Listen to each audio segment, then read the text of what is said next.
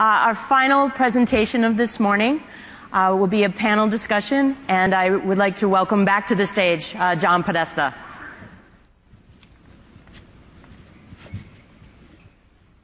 Thanks.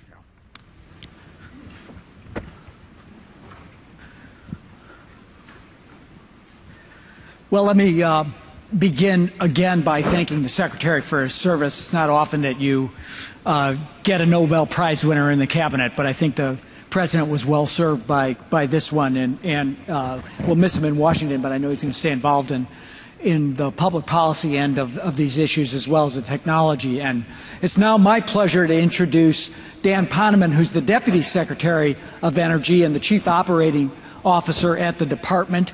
Uh, Dan's one of the country's leading experts on arms control and nonproliferation. He served on the National Security uh, Council staff of uh, uh both uh, Republican and D Democratic administrations. I had the pleasure of serving with Dan uh, in the in the Clinton White House, and he served President Bush before that.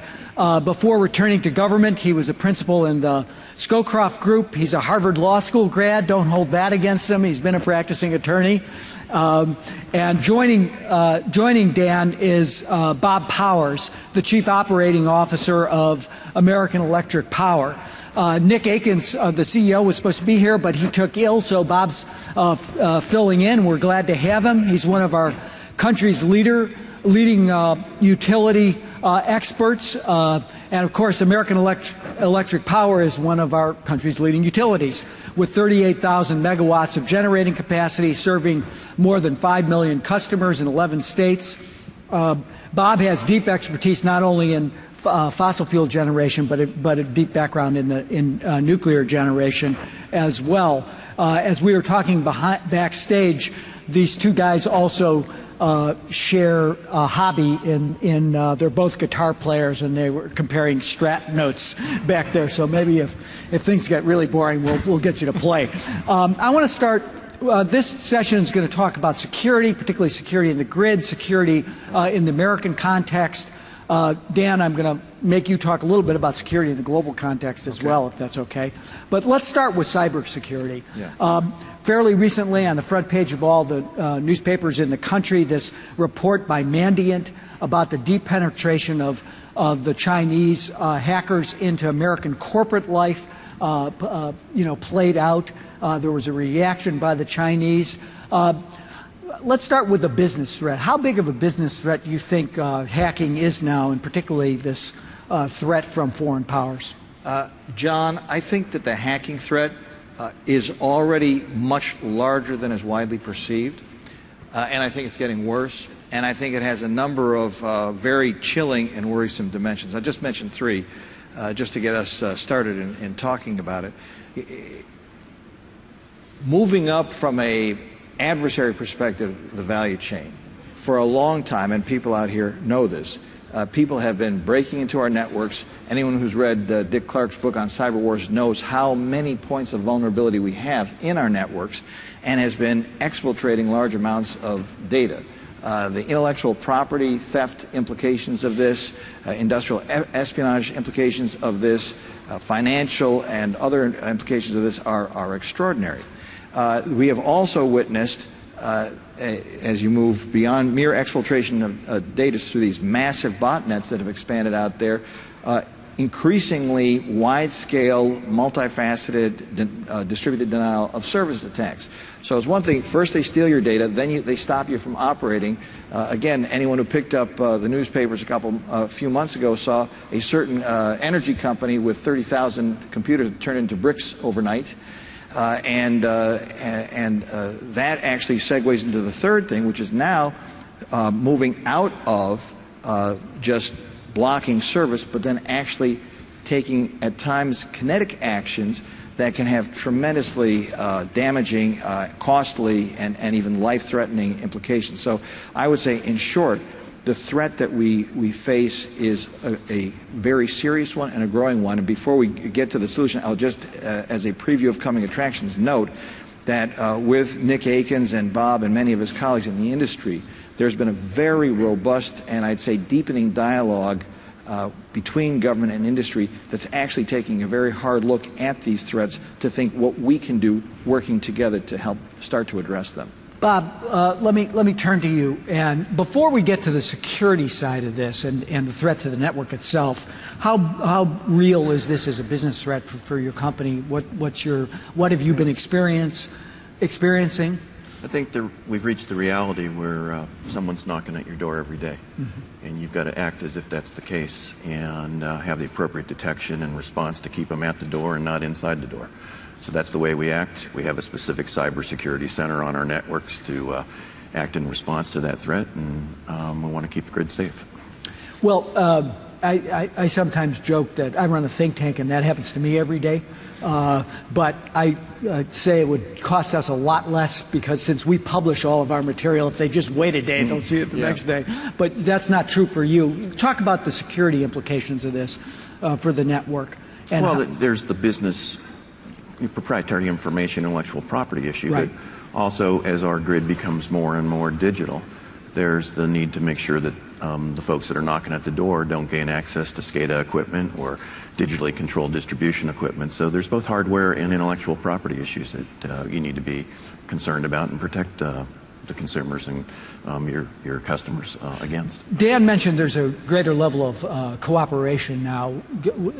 Talk about that from your perspective. Yeah, absolutely. The industry and uh, the government, uh, I think in part from the breakthroughs of cooperation that we've seen in response to Hurricane Sandy, have begun a dialogue regarding um, a, a, variety of threats, including cyber, including physical um, threats to the grid, whether they be weather related or, uh, or terrorist related. So quite a bit of dialogue. We met in Washington uh, just about a month ago to uh, establish the framework for that working relationship. We're assigning senior executives in the industry to work with counterparts in government to talk about things like uh, security access so we can have a language of communication regarding the threat. Uh, talk about technologies that might be useful at the front end to detect and deter threats. Uh, and also talk about situational awareness. What are we going to do to tabletop and exercise um, both weather-related threats, cyber threats, physical security threats, so that there's a common language, a common experience between uh, industry and government. It's pretty good stuff. Uh, Dan, last fall, the, uh, one of the administration's priorities was to pass a cybersecurity bill. Uh, that met with some business resistance, uh, and, there, and, and, it, was, it was blocked as it, w- it went along. Um, what's changed, if anything? I think, John, I think we've had actually a very healthy evolution. Uh, and I talked to a number of our colleagues in industry uh, actually since uh, that episode. And a lot of work in our sector has already gone into the development of standards. You know, NERC uh, uh, got the responsibility uh, for this mission back in 2006 and has had extensive discussions in developing the standards, and enforcing the standards with industry. Folks in industry had a concern hey, look, we've already invested a lot of effort here. Let's not come up with a lot of new standards. We heard that. And I think that what you've seen since when the president came out on the day of the State of the Union with his uh, cybersecurity executive order is frankly an acknowledgement of how far that dialogue has, has uh, advanced. Because what was that time? It was talking about exchange of information, making sure that, and we were talking about this backstage as well, that we get real time information that we may have uh, that is relevant to the private sector to them, talking about things that, that uh, we can do to help work together, because after all, the vast majority of the assets that are at risk are in the private sector, to take those particular advantages that each of us have and make them available to the, to the other party. So I think the executive order captures about as much as we can do in that collaborative sense. And of course, there are still other things left out there to do. So, for example, if industry uh, wishes to do things that will actually have some uh, effect to mitigate a cyber attack or, uh, or a cyber threat, they would benefit from having some clear rules, safe harbors against liability if they are doing something that is well intentioned and, and well conceived but doesn't go right because that's the nature of, of reality. So I think that uh, the, the executive order captures the level of dialogue that we achieved, frankly, some of it on the back of the uh, sometimes tough conversation about the legislation, but I think it puts us in a place where we can actually get some important things done now, but I think it preserves the option to still, if we can get there, get legislation. So still, there's still a need to try to push forward with some legislative. There are still things, for example, in terms of liability protections, in terms of uh, how we regulate our own federal uh, activities, in terms of uh, uh legal enforcement mechanisms. Uh, uh, of course, as you well know from your time in the White House, an executive order cannot create a new authority, so it's based on existing statutory authorities. Right. So there are a few places where, yes, it would be helpful to push out the envelope. What's what's your sense of? You, I know you're you're dealing with the with the power industry and the energy industry, but what about the other critical infrastructure yeah. systems? Do you see the same level of uh, engagement with with the national government now? I have. Do you I think have. the yeah. power industry is out in front? Well, I would say a couple of things. The power industry, I would say, is very focused.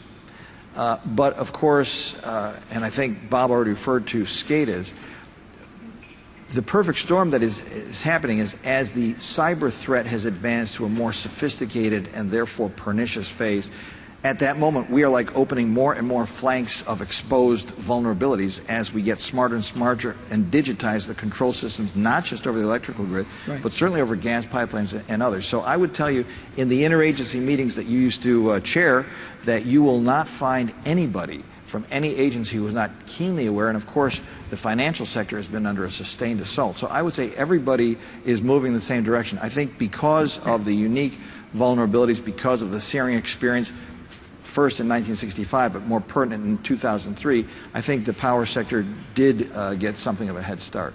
Bob, there's a conventional wisdom is that that uh, notwithstanding that constant level of attack, that the corporate community has been unwilling really to talk about this publicly for fear of of of, uh, uh, of reputational risk or, or whatever. Do you think that's changed?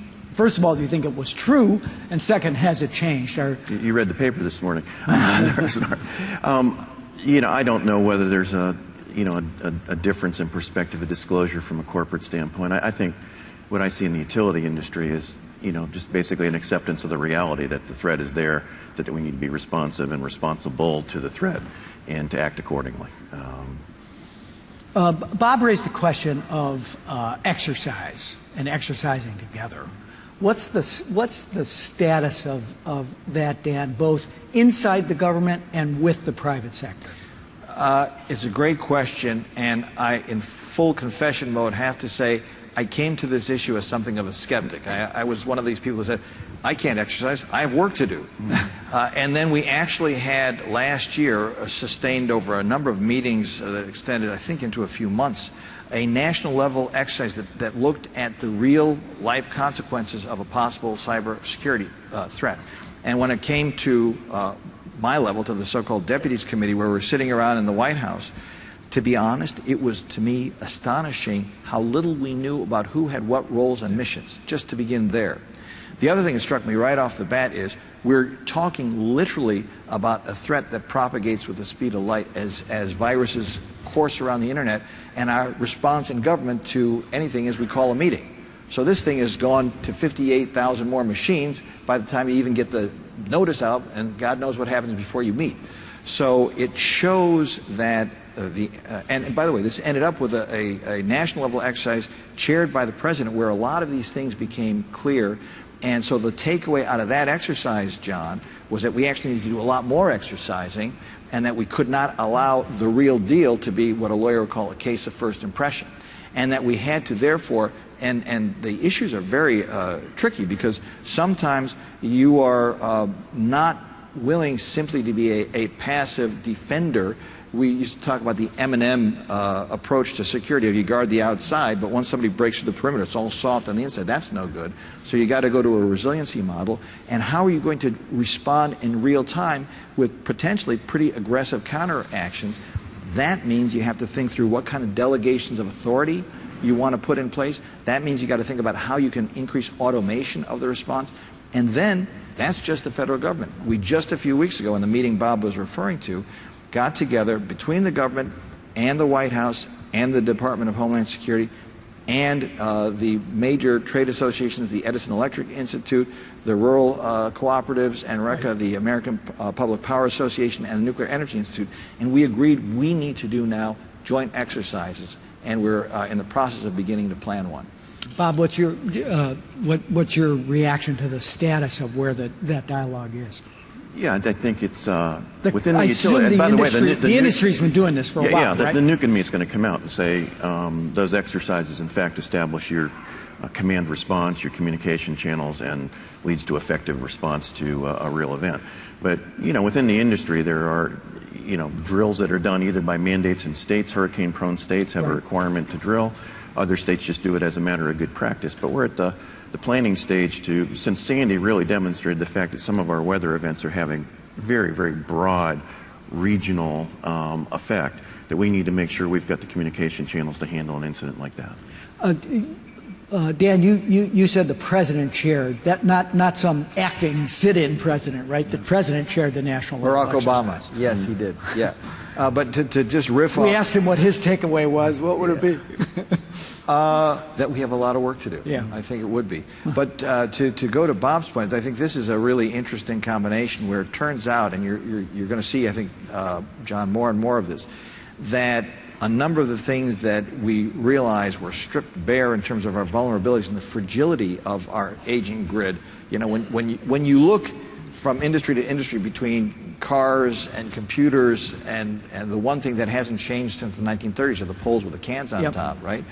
Uh, and uh, the, the president also played a daily leadership role in the response to Hurricane Sandy. And I think many of us drew from that searing experience the conclusion that we just really have to double down because a lot of the same investments that we're making to be more resilient against the natural threats uh, of storms uh, and so forth will also make us more robust against cyber threats. Uh, I, I want to get to resilience, but I want to ask you one more question because you raised the Saudi Aramco attack, uh, which at least intelligence source, anonymous intelligence sources, uh, pinned on the Iranians, U.S. intelligence sources. Uh, we're now in uh, what looks like might be something of an end game, might be a long end game with uh, renewed conversations with the Iranians on their nuclear program. Uh, how big of a threat does do, do you assess uh, the uh, c- capacity of? Uh, we, we, we thought a lot about China. What about the, what about the Iranian threat uh, in the context Yeah. of a? I would just put it this way, uh, John. I, I think, uh, and again, uh, I recommend people take a look at Dick Clarke's book. There are certain uh, adversaries who uh, have a big head start and who are uh, head and shoulders uh, above others in terms of their capacity to inflict harm. That having been said, there's, there's a lot of capability, and that capability is growing. And even as our vulnerabilities are growing, and let's just say that a country like Iran has motive and opportunity. So I would characterize it, I don't think there's a, a, an integer I could apply to it, but I would characterize it as a serious and growing threat. You've been deeply involved in both establishing the sanctions regime through direct diplomacy, uh, and, uh, and and as I noted, you're an expert on arms control. How do you how do you uh, see the effect on energy markets uh, as a result of this kind of tumbling forward through the course of the spring and summer? Well, to keep it uh, focused on, on this topic, I'm going to break this uh, answer into two, two pieces. Number one, uh, we, and when I say we, I mean the United States in cooperation with all the producing nations and all the uh, declining number of nations that are consuming oil from Iran, are going to have to keep working very, very hard to make sure that markets remain well supplied. And the nice uh, segue uh, from that to the other is in a case like the situation with Iran, where they will have to, to uh, get, I suppose, the level of response they want, uh, go asymmetric. They're not going to go toe to toe necessarily with us in the Straits of Hormuz, but I think you've just seen some indicators of what can happen. So I think we're going to have to, in short, uh, John, have a parallel effort that even as we have our conventional sanctions diplomacy that's trying to keep markets calm, keep markets well supplied, so that the price stays down and we can contain uh, and continue our, our economic recovery, we're going to have to have a parallel structure of not just diplomacy but actual responses to both a provide the protection and the, uh, against the, the threat and b coordinate on the response because obviously uh, a threat like this does not have any respect for international boundaries. Thanks for the clarity of that answer, by the way. Bob, let's, let's, let's shift to uh, disaster recovery, the experience with, uh, you know, particularly with, with uh, Hurricane Sandy, but you, you experienced this uh, month to month, I suspect, throughout your service area. Uh, uh, Dan raised the strategies on, on the security side as being pretty much the same with respect to resilience from the threats of of storm damage or other you know physical threats to the grid. Do you agree with that? Yeah, I, I think uh, you know you're going to both have to look at uh, scenarios to harden the grid physically, but also look at the resources you have to respond. And quite frankly, on the spectrum of things, to have an absolutely hardened grid is probably infinitely difficult and infinitely expensive. You're going to find some sweet spot in the middle where you've reasonably hardened the grid, but you're still going to have to deploy resources to uh, to affect repair when you have a major major storm. So that's what the industry's doing in response to Sandy, taking a look at what went well, what didn't go so well, make sure we can mobilize as many resources as possible, but also take a look at lessons learned and what are the uh, best practices, so to speak, for hardening the grid. So. Well, uh, in terms of the resilience of the grid, uh, is there uh, is, it, does this continue the argument for more distribution of generation? I, I think it could. I think there's some practical realities. I mean, we've done quite a bit to integrate battery technology um, into the grid. Um, even in our largest scale, our batteries are meg megawatt class size, but you're talking about seven hour capacity. At a smaller scale, we've got two or three hours of lithium ion capacity in a community energy storage type application, but you're talking about two or three hours of response. On the battery side, we're looking for the breakthroughs that um, these sort of forums are trying to uh, attain to see a, a, greater improvement. If you want something that's going to last, because again, we're going to have this balance between something that's not infinitely resilient but reasonably resilient, you're going to need some sources of distributed power that uh, either have a fuel supply, natural gas or diesel or solar, and uh, you're going to have to have battery backup to deal with the intermittency. So I think it's possible to imagine that scenario but I think in terms of deployment, it's going to it's going to be a while out there, and we're going to need some breakthroughs in terms of some fundamental capacity. Dan, what do you think?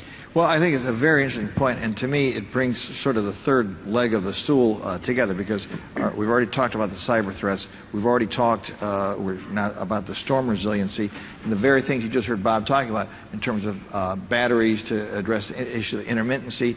Uh, John, the premise of your question in terms of distributed power, all of this feeds also into our broader uh, thematic effort for overall grid modernization for all of the reasons that you heard Secretary Chu speak just a few minutes ago. Uh, a 21st century grid to support a 21st century energy sector that uh, is much more efficient, that uh, reduces the gap between the peak and the base load, uh, that uh, shifts the priorities from uh, focusing just on added power generation to demand side management, but beginning with a much greater sensory awareness of what's going on the grid. We've all read the stories about, you know, the tree that fell on the line that started the whole uh, concatenation of events that led to the 2003 blackout. That was that was a tree on one of your lines. Was no, that one of your lines? No, no, no, no, no, no.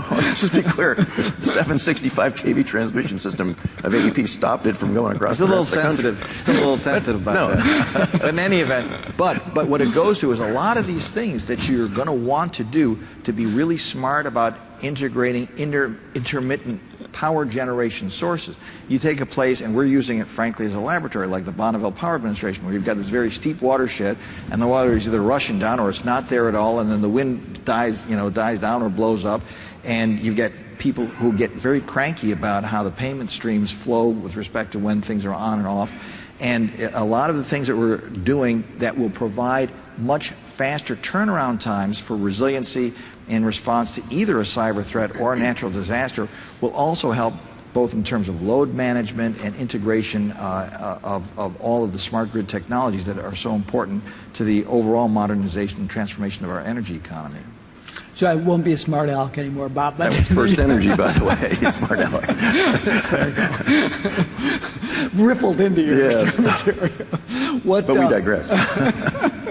what, um, what in, in, in terms of the complication in the strategy with respect to that, how does uh, resiliency and particularly building more uh, uh, grid level uh, renewable power affect the calculus that, that Dan was just talking about? Yeah, um, well, the calculus is very interesting because as smart as you might get the grid, if you don't do some of the hardening we've talked about, you know, a million plus digital devices that all say the power's out, and meanwhile the poles are down and the wires are down. Right. You got a problem. So I think the balance here we're going to have to strike is there is some neat things that technology can do in terms of situational awareness, some neat things technology can do in terms of self-healing circuitry. Um, but again, for the major casualty, I think you're going to have to look at this combination of deployment of digital technology, which will help with situational awareness, but you're just going to have to get into the nuts and bolts and the hard work of physically hardening the grid, whether it be stronger poles, whether it be stronger wire, whether it be undergrounding, whether it be distributed sources of generation that can help um, mitigate circumstance for some period of time. But it's just going to be that combination of hard work. For, for the, the crowd at the ARPA-E uh, conference, if you uh, look at innovation on the technology side, where do you see the need? What do you, what, where do you, where you want to create a demand pull? Well, I think this is a nexus for both general energy issues and um, this sort of grid hardening issue that we're talking about. But storage, storage, storage would be a great place to see some breakthroughs in terms of, uh, uh, of, of helping uh, both the integration of renewable and intermittent resources into the system, distributed resources, and dealing with some of the intermittency issues on, on, the, on, the, uh, on the grid itself due to calamity of, of either weather-related or uh, other physical issues on the grid. Storage is a, is a big deal. Dan? I, I would just, uh, I agree with that part uh, in, in terms of the specific concern about security. I still think we've got a lot of headroom in technology space just to respond to the specific kind of cyber threats. Uh, we have, uh, we, we deployed uh, an enhanced cybersecurity package uh, at the Department of Energy sites, now extending to the uh, Power Marketing Administrations after three of our labs were attacked Oak Ridge National Laboratory, Thomas Jefferson, and Pacific uh, Northwest Laboratory. But we have found, even recently, probably uh, have seen, we had other problems with our uh, cyber attacks uh, that our technical tools are not yet up to snuff to defeat the increasingly sophisticated first day cyber threat. So, but I, I certainly subscribe to the uh, uh, storage uh, requirement that uh, Bob talked about as well. Bob, you, the AEP just entered into a settlement just the last couple of days with uh, EPA and a series of Northeast states to c- shut down some coal-fired power and made a commitment, I think, to build some uh, both solar and, and, and wind power. Uh, earlier in the, in the morning, we had a discussion about the effect of the low price of natural gas and the abundance of particularly uh, the gas from the sh- uh, shale plays. Um, what, how's that affecting the company's thinking about, uh, particularly introducing more renewables into your uh, generation system? Well, I think the low price of natural gas is both a, a blessing, as we heard in the discussion this morning.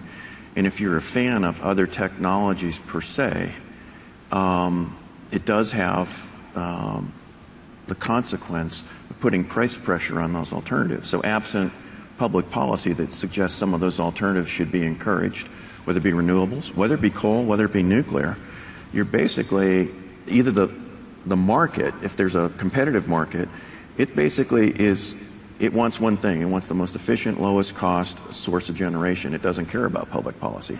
Even if in, your, in a regulated circumstance, you basically have an obligation to provide the least cost option.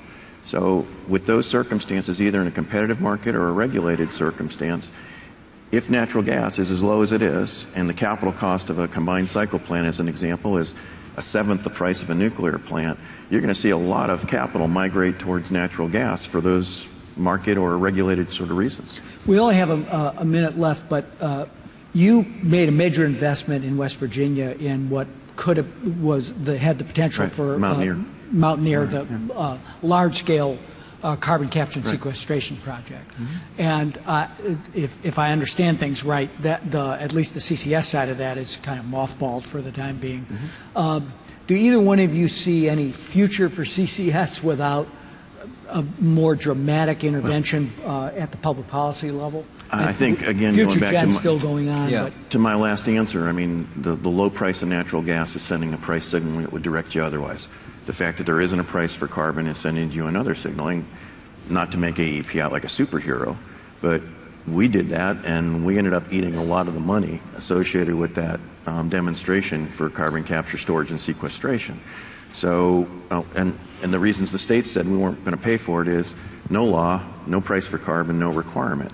So all those things kind of come together to say something's going to have to happen a little bit different than circumstance right now to make CCS reality. Dan? We have 30 seconds. I'll I'll be very quick. Number one, in the uh, presence of low natural gas prices and the absence of a price on carbon, public policy is going to continue to be very, very important to the viability of, of this. Point one. Point two, the one place where we have found that we can start to make the business case close is those places where you can combine that with something like enhanced oil recovery, where you can add the U, the utilization to the CCS equation, and that at least begins to close the business case. And the third thing is in partnership with other countries that are also dedicated for their own reasons, either in uh, places like through Masdar or India and China that have their own needs for their own purposes, there may be other sources of investment that can help defray and uh, level out the investment that we would otherwise need to make. But even there, you're talking about some kind of combination of leveraging other countries' resources uh, into our public policies because countries like India, China, United States, parts of Central Europe, Poland, we're going to continue burning a lot of coal, and it's in all of our interest to burn it clean. So you haven't given up on it? Have not given up on Okay. it. Okay. Thank you, guys. It was a terrific conversation. Thank you. Thank you. Thank you very much.